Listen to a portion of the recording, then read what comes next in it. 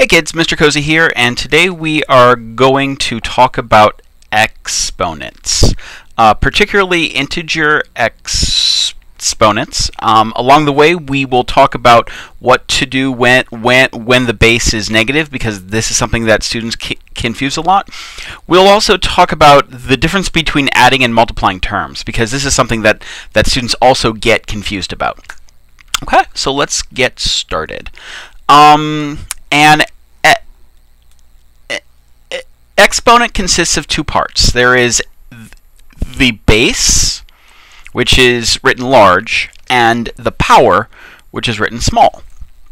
So this is x to the third, and as you know, it stands for x times itself three times. Now, if x happened to be a, a 5, then we would have a 5 to the third, and that would be a 5 times a 5 times a 5, which uh, 5 times itself is 25, times 5 is 125. Okay, so something like 2 to the 8th is 2 times itself 8 times. Now, if you do this in in in your head, it's really easy. Just take li little bitty baby steps. 2 times 2 is 4. Times 2, well, that's 8. Times 2, 16. Times 2, uh, 32. Times 2, 64. Times 2, 128. Times 2, 256. And there we go. Now, of course, we could do this in the calculator. Uh, just 2 caret, which is right here, to the eighth. And there's our answer. Okay?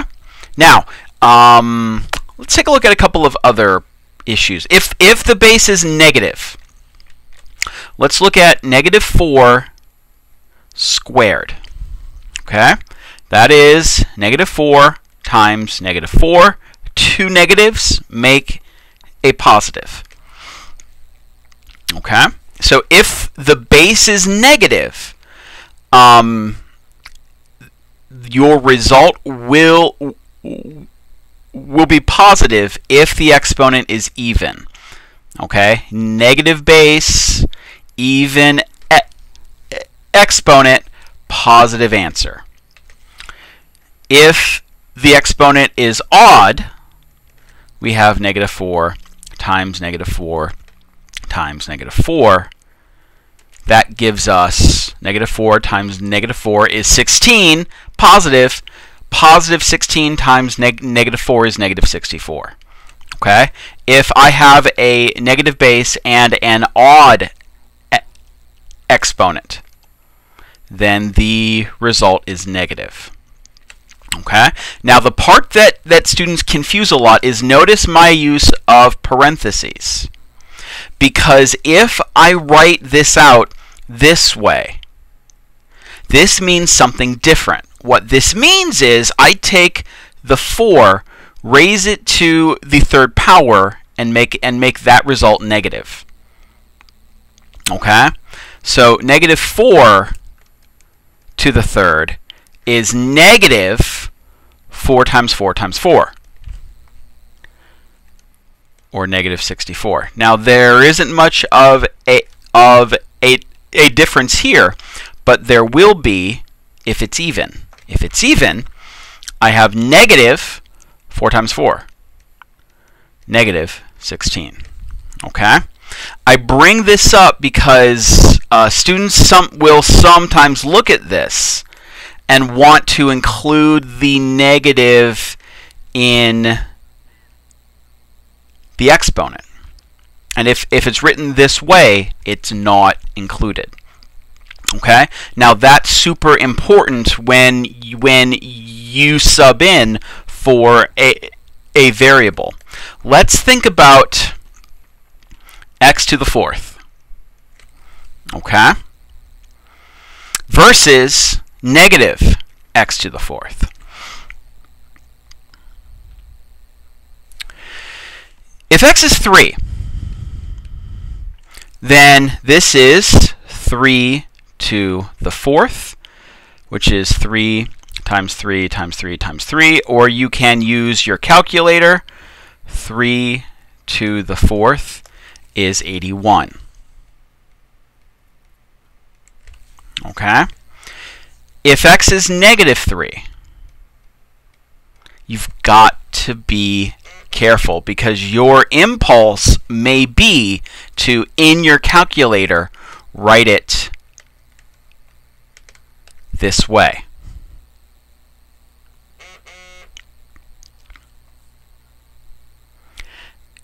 And this will give you the wrong answer.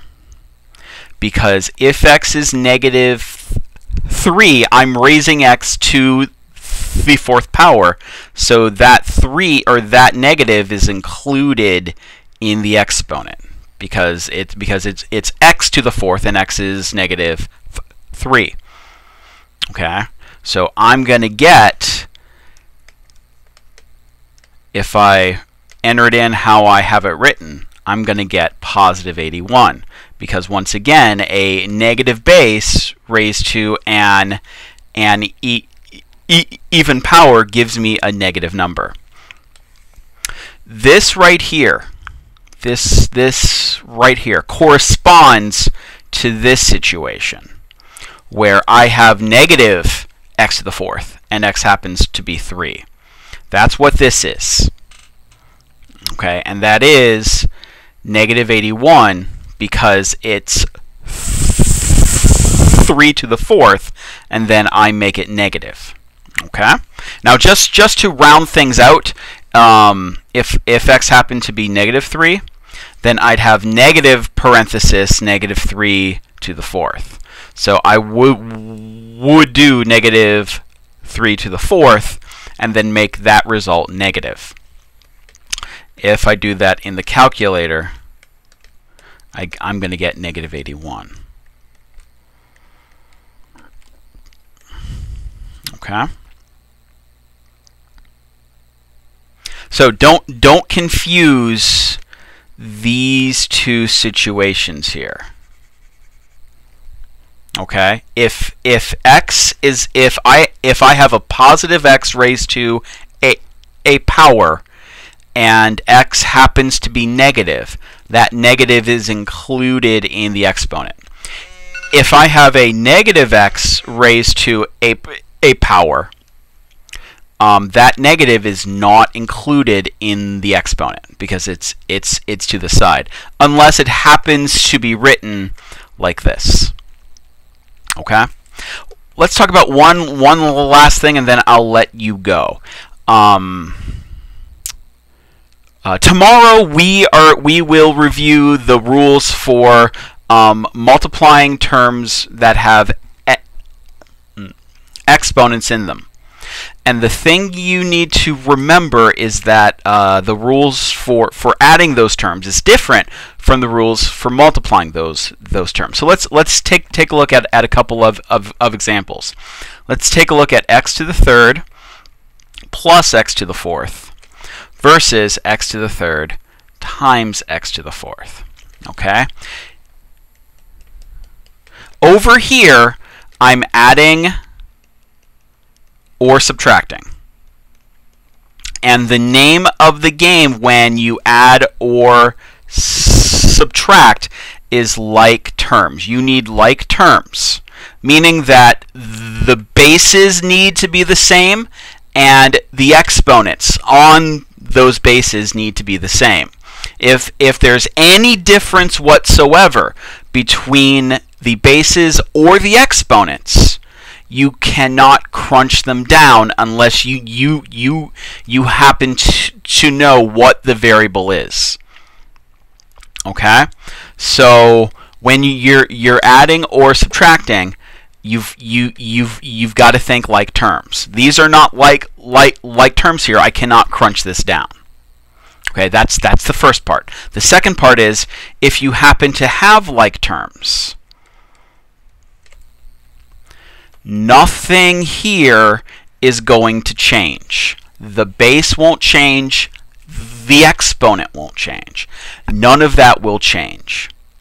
What will change if you are adding are the coefficients. They, there are secret ninja ones lurking in front of each of these terms. Because these are like terms, I can add them up through adding their coefficients. Okay? That's adding, subtracting. Like terms, it's got to be the same. Don't touch the bases or the exponents. Add or subtract their coefficients, the numbers out in front. Okay? If you're multiplying and dividing,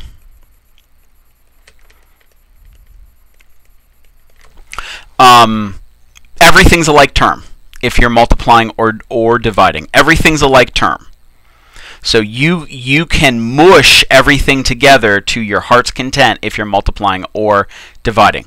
There is one one caveat which is um, as as far as com combining bases. I can only com combine them if the bases are the same.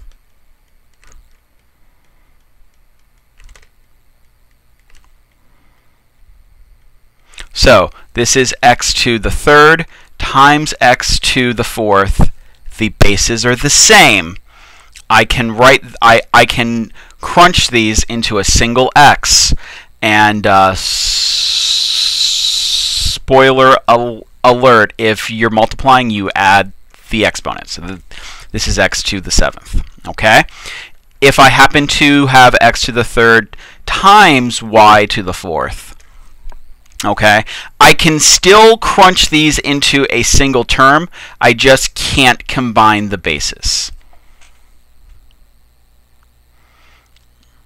Okay? Um, now uh, a, a, a little neat neat thing here is what if the bases are the same? I'm sorry what if the bases are, are different though the exponents are the same. So, same exponents, different bases. I can, once again, write them just as one term, but I, I also have the, the option to write them this way, to, to group the bases together and write the, the exponent on, on the outside. I wouldn't do that. Um, I, I, wouldn't do this all of the time, but once in a while it, it is helpful to write write th things out this way. Okay, um, so just just remember that um, when you're you're adding and sub subtracting, it's all about like terms. Okay, when you are multiplying, it is all about the base. So uh, I'm going to stop here. Have a great evening, and I will see you guys tomorrow. Bye bye.